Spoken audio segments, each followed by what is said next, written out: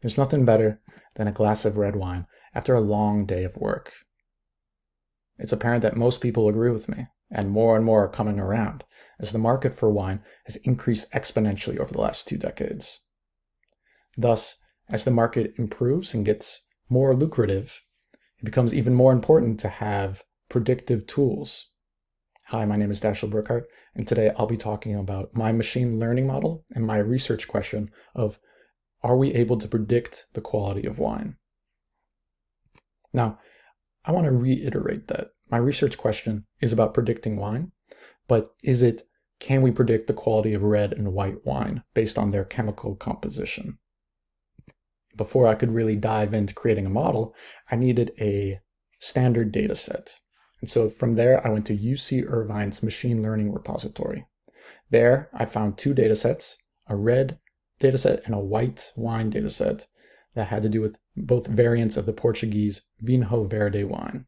They all had the same variables, but in this case, one was white wine and one was red wine. I combined these two into one dataset, and together they have 6,497 observations and 13 features, one that I created to distinguish between whether or not it was red or white wine. As you can see here on this slide, we have a number of variables that have to do with the chemical composition, so we're off to a great start. I really want you to focus on the bottom two variables, however. Quality, which will be our target variable, is a score between 0 and 10. Red wine is the uh, variable that I came up with, where it is 1 if it's red wine and 0 if it's white wine. I also really wanted to get an idea of what data set I was really working with. And so I created a histogram for the types of wine. In this case, you can see that's a little bit imbalanced with much more red wine observations than white wine. And we really have to take that into consideration when we come to our conclusions. Now, I began my process with my target engineering. I really wanted to split quality into a binary problem, as I wanted to show low quality versus high quality. In this case, I said low quality was anything lower than a 7 on the quality score, and high quality was anything that was greater than or equal to a score of 7. And we also did a histogram of these quality scores once I broke it into a binary set. As you can see, again, it's an imbalanced set. So we really have to take this into consideration when we start creating our model.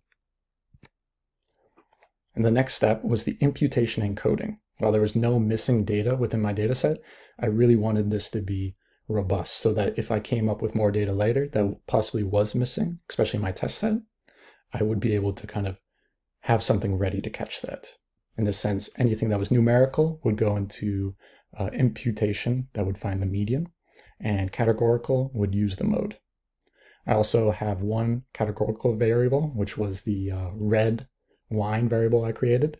I used the one hot encoder for that variable, and since there were two uh, unique classes for that, it broke it into two different uh, columns in this case. So I began my model selection. In this case, I really focused on uh, three, logistic regression, random forest classifier, and extra tree classifier. These really stood out to me in my studies as being extremely well efficient in kind of predicting classifiers. So I really wanted to work with these three and then go through a range of, as you can see here, hyperparameters that we can tune. So what I was really working with was a randomized search CV. So I wasn't really set on using a grid search as grid search can work a little bit slowly. In this case, random random search actually can work a little bit faster and sometimes can come up with even better models. So I stuck with that. I also use stratified, uh, stratified fold to kind of help with the imbalance in the data set as well. And from this, I got my best model. Now my best model was extra trees classifier with the following hyperparameters, a class weight of balanced, criterion of entropy, max depth of 100, and an n estimators of 50. Now for the extra trees classifier, it's very similar to a random forest, but in this case, it's different in the sense that when it splits or chooses how to split, it does so randomly. And so for this problem, I had to decide what metrics I was going to use to really gauge how well my model was doing. The first metric I used was F1. This was a balance between recall and precision. In this case, recall is of the positive samples, how many did we find? And precision is that of those predicted as positive, how many did we get right? For the F1 score for our model was a 0.88. We really wanted to shoot for a 1 because that is the top score that you can get for an F1.